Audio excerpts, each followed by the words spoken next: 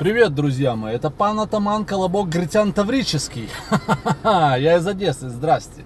Так вот, друзья мои, сегодня интереснейшая история, как э, тезка мой с Украины нагрел американца на 50 тысяч долларов, причем именно в такой дерзкой форме, и причем именно нагрел и чуть ли не заявил, что типа ты мне еще должен.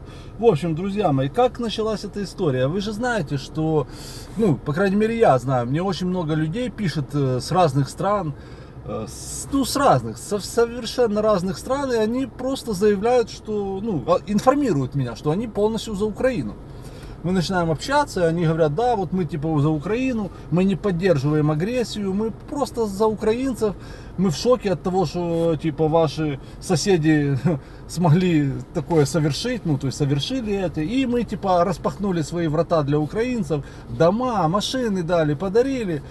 Э, но вы знаете, друзья мои, некоторые мои земляки некрасиво отблагодарили таких благородных людей. Очень некрасиво. Сегодняшняя, друзья мои, история по это, про это.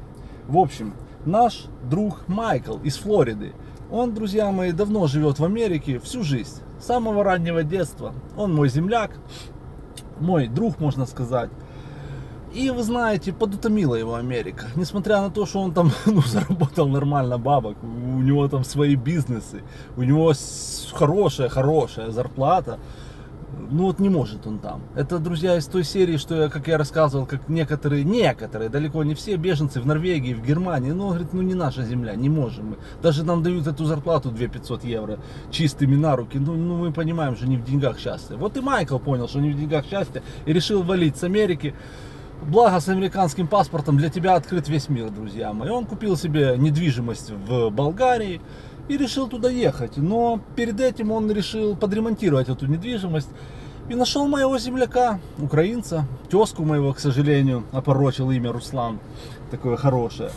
И, говорит, договорился, взял рекомендацию этого парня, сказали, ну, что он умеет, и плитку класть, и ламинат класть. Есть нюансы, но, в принципе, ну, украинец, значит, хороший парень. Ну, то есть, поэтому порекомендовали, ну, то есть, тут даже не надо квалификацию проверять.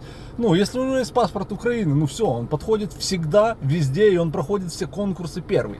Ну, вот такая нынче тенденция, друзья мои. Всем не нравится, а украинцам нравится, да? Э, короче, Нанял он этого парня, начал платить ему по 1000 долларов. Парень начал вроде неплохо работать. И вы знаете, мой товарищ Майкл, добрая душа, говорит, слушай, ну он увидел, что они с какого-то села, у них нету денег, у них все печально, куча детей, жена там что-то тоже тыкается, мыкается, не работает. И он проявил жест доброй воли, жест порядочного человека, он говорит, слушай, давай я тебе буду платить в два раза больше. Вот я так хочу. Я увеличу твою зарплату в два раза. Да, друзья мои, чудеса в мире случаются. Ну вот, вот такая добрая душа. Он говорит, да, я буду тебе платить не тысячу долларов, а две, а ты будь любезен. Ну просто, ну, просто хорошо работай. Ну, в принципе, все. Просто качественно работай. И, в принципе, меня все устраивает. И все. Он начал платить. Каждый месяц по 2000 долларов. Платил, платил, платил. И вы знаете, видеоотчеты, каждый день был договор, что ну, парень приходит, этот тезка мой, какую-то работу делает, там выложил там, там стену плитки, снял на видео, провел буквально экраном, скинул Майклу, говорит, ну вот сегодня, сегодня вот там с 9 до 3, до 4 я занимался вот этим, завтра буду там вторую, третью стену ложить.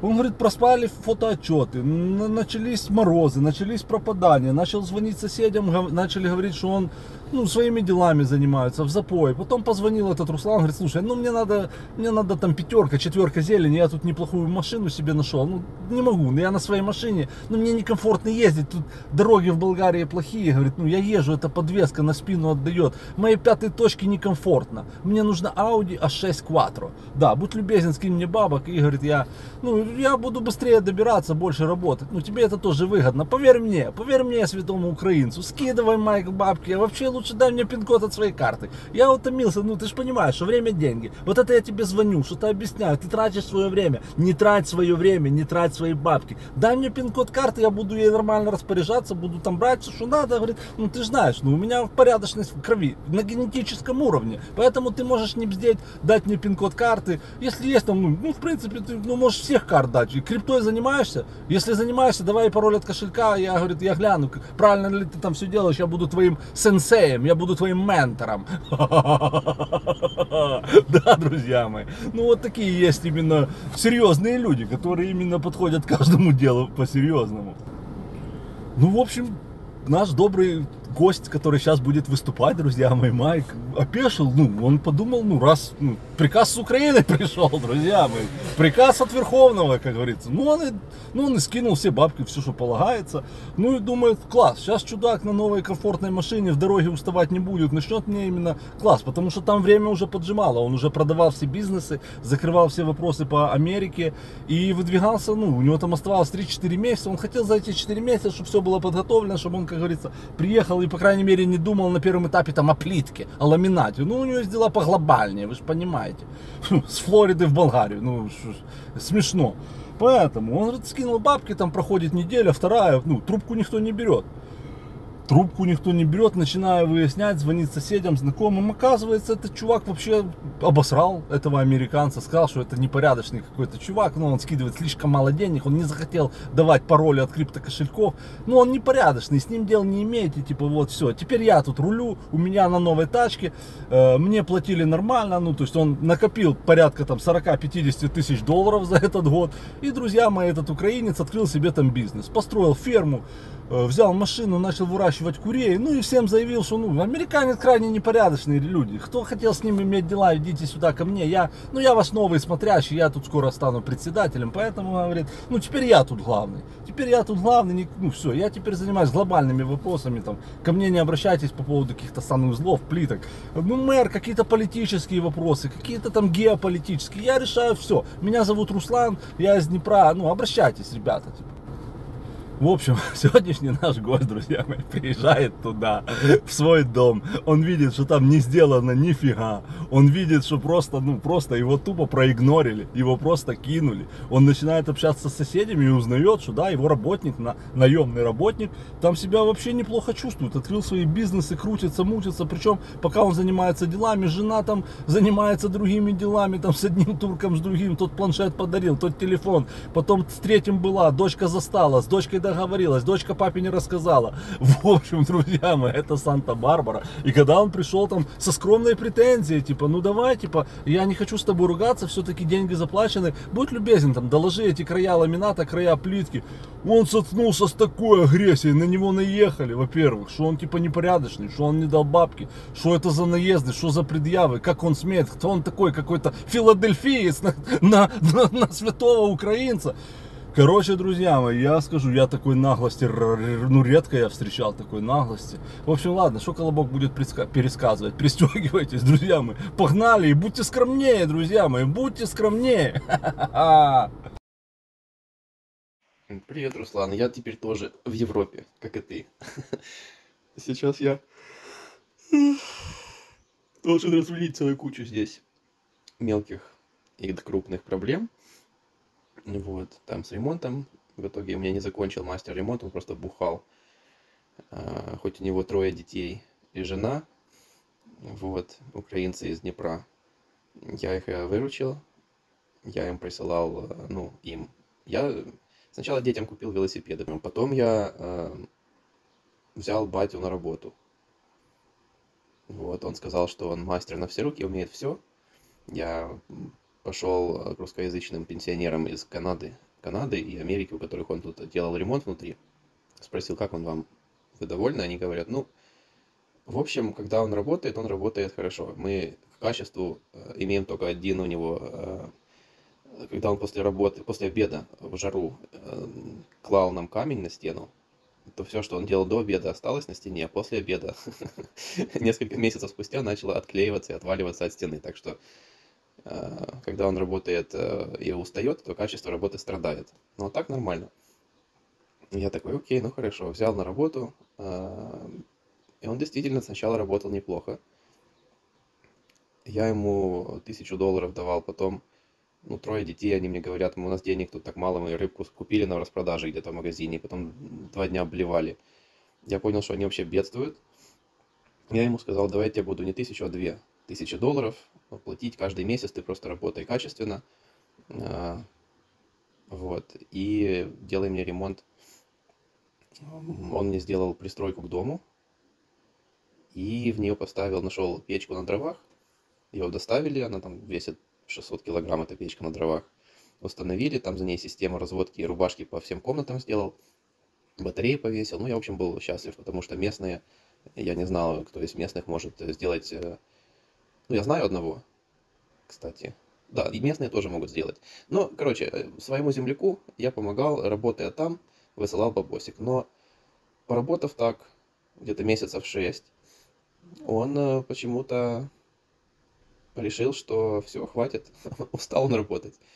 Вот, и продолжал я ему посылать по 2000, а он э, куда-то ушел на дно, и вместо того, чтобы ежедневные видеоотчеты мне присылать, он присылал мне отчет раз в неделю, потом раз в две недели. А видеоотчет был, ну, никак там не на две недели работы. Вот, последние видеоотчеты он мне вообще прислал раз в месяц, а, и там работы было на, на, на день.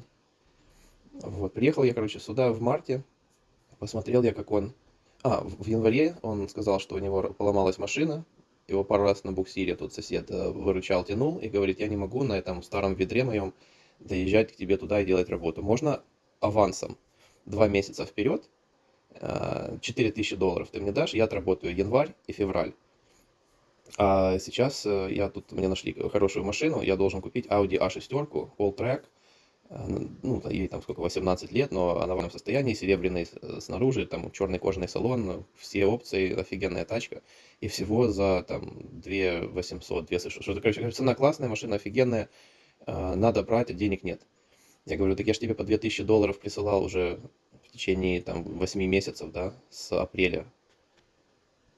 Апрель, май, июнь, июль, август, сентябрь, октябрь, ноябрь, декабрь, январь. 10 месяцев, я тебе уже 20 тысяч долларов переслал, плюс заплатил за материалы, у тебя должно быть 2 тысячи. Он говорит, нет у меня 2 тысяч, мне нужно 4, потому что там почти 3 она стоит, плюс оформление документов, плюс, э, ну ладно, отработаешь, отработаешь. Я прислал ему эти 4 тысячи, и он счастливый купил машину и ушел на дно. Потом мне соседи здесь сказали, что он не работал вообще, на два месяца он не выезжал. Зимой он, он дома провел всю зиму.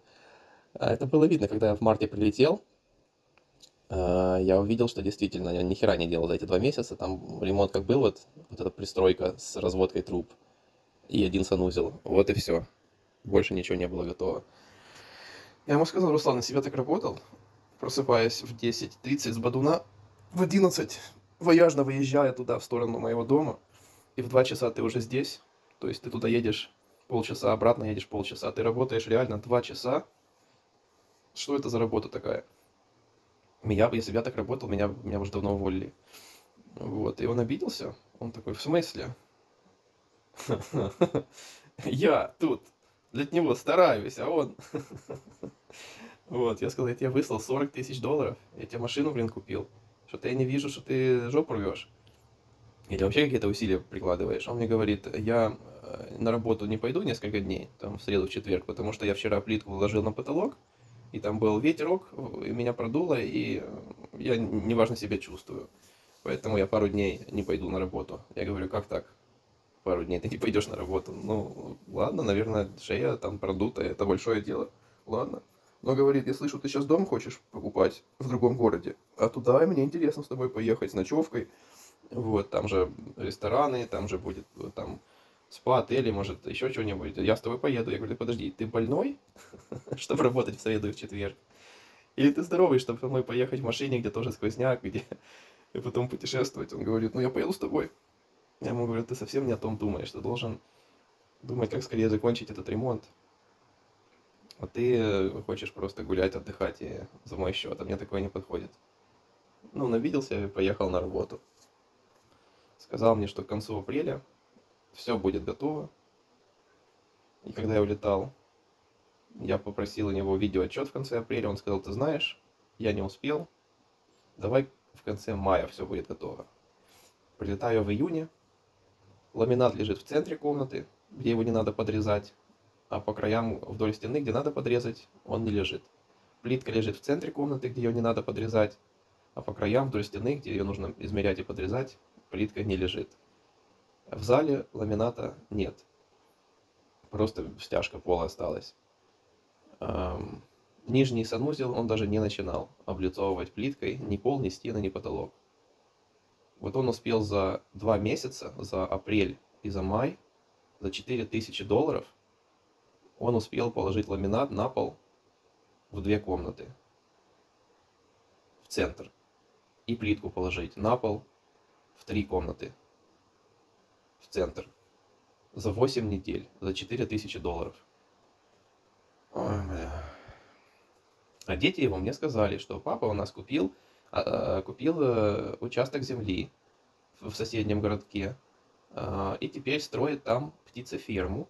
У него теперь курочки, и он каждый день ездит курочек кормить и собирать их яички, пьет эти сырые яички, и мы назвали каждую курочку по имени, и папа теперь бизнесмен, папа теперь хозяин своего бизнеса, президент компании, и он там строительством занимается, и он там это. То есть этот э, нехороший человек, вернее, хороший человек, ну как, он э, очень любит выпить с женой, и они уходят в запой регулярно. Дети в это время бегают во дворе и цыганят у всех э, там на шоколадки, на конфетки. Ну, дети хотят всего и побольше, потому что родители дома спят после бадуна. И вот батя с, с мамкой в запой регулярно. Мамка, оказывается, мне сказали здесь, она изменяет с двумя, с тремя турками. С двумя турками она изменяет своему мужу. Турки из этого, ну, они ее трахают в этих местных отелях, а потом ей там подарочки, телефончик. Один прислал там планшет, другой. Ну, вроде того это устраивает, я не знаю, как так. Вот. Может, он не знает. Короче, такое семейство. И постоянно пьяные и дома спят, а дети беспризорные. И вот э, соседи мне говорят, он за твои э, деньги, он на всю зиму не работал. Мы думали, что он насобирал себе на машину, мы не думали, что он попросил у тебя на два месяца вперед аванс, который отработает. Не работал два месяца зимой. Он, машина не выезжала отсюда новая, и старая тоже. Вот. Потом, а, когда он открыл фирму, где-то в то же время, он начал концентрироваться на своем бизнесе, на своей фирме, поэтому он ездил к себе и строил у себя бизнес, куриную ферму. Ну и, короче, когда я сюда приехал, сижу я, дома, стук в дверь, его дети, блин. А мы видим, что у вас открыта балконная сетка, значит, вы уже вернулись сюда. Здравствуйте, доброе утро. Э, поехали в парк, поехали там в магазин вкусняшки купим, мы вас ждали. Бля, ну, доброе утро, дети. Ладно, садимся, я сейчас спускаюсь. Садимся в машину, выезжаем, а его родители, ну, этот сосед с женой в своей новой шикарной Audi A6 видят меня, они за рулем едут на базар, говорят, вы, вы едете гуляйте да, в парк, там все дела. А мы поехали по своим делам. Помахали мне ручкой и поехали. А я с детьми поехал в магазин, они на, на 60 э, евро купили себе шоколадки, конфетки и разные вкусняшки. Поехали мы в парк, там перекусили на скамеечке, и они побежали на местные аттракционы в парке, там гулять, кататься, прыгать, веселиться, на трамполине прыгать. Ой.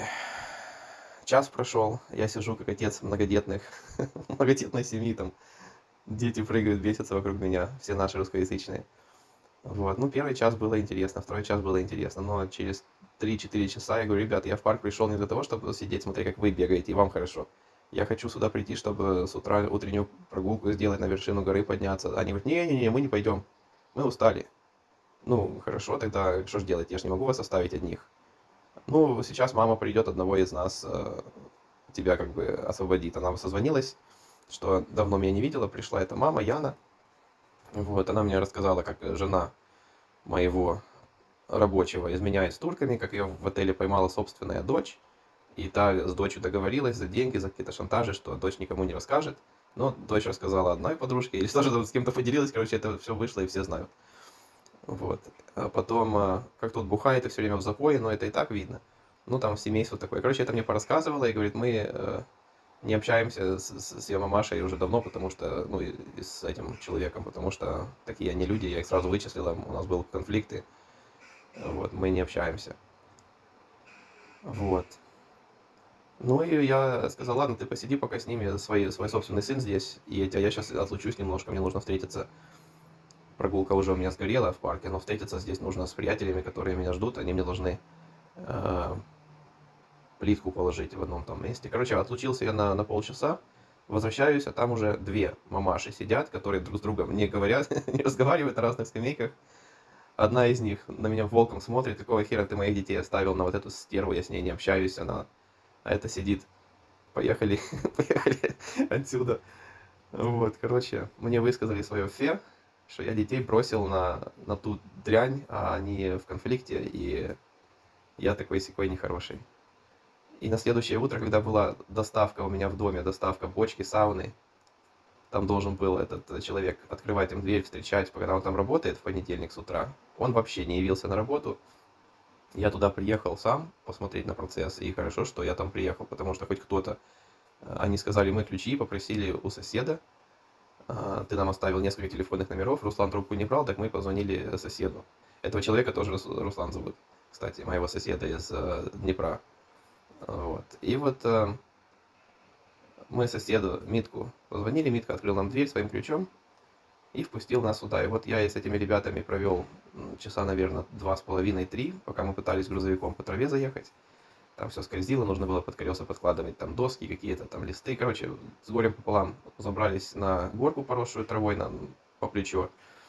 Все это дело выгрузили, и тут появляется этот герой со своей женой, я звоню им, звоню, звоню, звоню, никто трубку не берет. В итоге поднимает трубку его жена, которая вчера на меня орала, что там, ну не орала, говорит, я в тебе очень разочарована. Ты моих детей оставил на эту дрянь, с ней я не общаюсь. Вот. Я с этой дрянью тогда говорю, ну хорошо, тогда мы э, пойдем, ты теперь с детьми. Вот она говорит, да, вы хотите, а я с детьми сама уже буду со своими в парке, останусь здесь, я не хочу, чтобы они общались.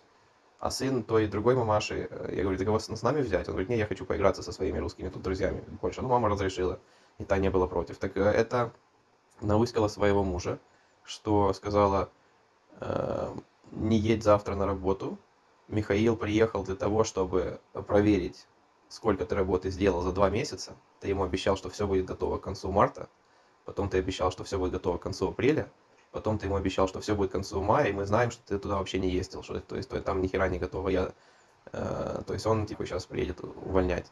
Поэтому зачем туда ехать, отсыпайся, бухнем еще раз и завалимся на бок спать. И поэтому они не приехали на работу, и если бы я там не пришел посмотреть сам, то никто бы не впустил моих, мою доставку. Короче, я звоню, она говорит, Руслан сейчас занят, он... Я говорю, что ты поднимаешь его телефон, как с ним связаться? Она говорит, он сейчас занят, он когда освободится, он тебе сам может перезвонить. Ну и мы толкаем этот грузовик, проходит еще час, никто не звонит, я опять звоню, опять звоню, опять звоню. В итоге она говорит, мы, я не должна перед тобой отчитываться, мы в Керджеле, мы еще находимся там в городе, где мы живем, и вообще туда не едем к тебе. Я говорю, почему, как это так, я ничего не понимаю. Она говорит, что не получал сообщение? Нет, ничего не получал. Ну, в итоге, часа три спустя мы заканчиваем уже с крана снимать все эти бочки сауны, все это устанавливать, и является эта принцесса со своим мужем на моей Audi A6, 20-летней. Вот. И она сидит в машине, даже не выходит из машины. А, говорит, а он выходит и говорит, мне сказали, что ты меня обосрал, а, мою работу, а, сказал, что я взял у тебя деньги, ничего не сделал, и что ты меня приехал уволить, поэтому я вчера вечером приехал сюда, забрал весь инструмент, отдал ключи соседу, и все, и больше моей ноги не будет здесь. То есть один день вот в этом вот в парке с детьми, когда две мамаши там встретились, и они друг на друга волком смотрят, одна мне рассказала про измену этой, про все грязные эти, а это знает, о чем мы, мы, скорее всего, говорили, так интересно. А потом я ушел с мамашей э, отдельно, и покушали мы в этом, пообедали, поужинали, и все, я ее отвез домой. Э, там сынишку забрали, он играл. А, нет, Руслан с женой набухались, наклюкались и пошли спать по пьяни. А дети сидели тихо, потому что на улице пошел дождик. И вот дитё этой мамаши говорит, я не могу громко говорить, они набухались и уснули, а мы сидим здесь, играем в прятки в квартире. Короче, забрали мы ее сына у них из хаты и отвез, отвезли их всех домой. Вот, и вот этот, этот вечер, та уже мужу промыла мозги, что тебя уволят, тебя не уважают, тебя раскусили, и не стоит туда ехать вообще с ними общаться. Короче, вот такие вот дела. 50 тысяч долларов я потратил благотворительностью на семью за 14 месяцев, и в итоге ничего не готово. Хотя мне обещали, что все будет готово к концу марта, к концу апреля, к концу мая.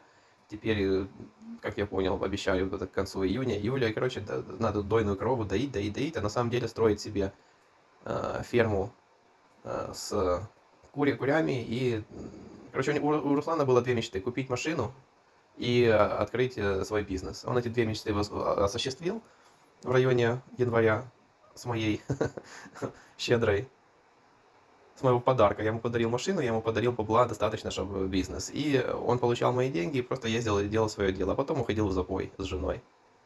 А она чпокается с турками за подарки. Ну, вот такие вот у меня работники. Хорошо, что я нашел уже других. Он мне сказал, что я говорил, теперь нас двое здесь, я тебя не собираюсь увольнять, кто-то же должен доделать всю работу. Ты обещал, что все сделаешь, давай теперь я здесь, закатываю рукава, я тебе помогу, и вдвоем мы быстренько забахаем этот ремонт вместе, заодно я научусь и плитку класть, и ламинат, и все остальные, там, сантехнику, все подключать. Он говорит, а, ну если ты не увольнять меня приехал, то давай только я неделю занят буду. Неделю меня не будет, у меня свои дела. Какие это секрет? Я не обязан перед тобой отчитываться, где я буду, что я буду делать неделю. Но через неделю я могу сюда приехать, и мы с тобой вместе, да, поработаем. И вот я думаю, стоит ли мне с ним работать. На всякий случай я начал уже искать других э, ребят и нашел, электрика нашел местного в деревне в этой, он всем электричество делает. Вот, причем вообще за 3 копейки. А, нашел плиточника, сантехника. Я нашел, в общем, всех. Заменить Руслана я уже нашел кем. Это за, за вот эти вот дни, пока он где-то там чем-то занимается непонятным. И я думаю, вот он деньги взял, работу не сделал. Для Болгарии 50 тысяч долларов за месяц и машина в подарок. Это очень неплохо, кстати. А благотворительностью заниматься мне уже не интересно стало, раз такое отношение ко мне. Вот такие вот у меня здесь дела за первые 3-4 дня в этой стране. Ничего не построено, ничего не доделано. Э, хамское отношение, потребительское, потребляцкое какое-то, и там куча секретов, секреты на секретах. У нее свои секреты, у него свои секреты, а я за все это плачу баблом из Калифорнии, пока меня здесь нет, они просто счастливо бухают, уходят в запои и потом спят целыми днями. Какая там работа?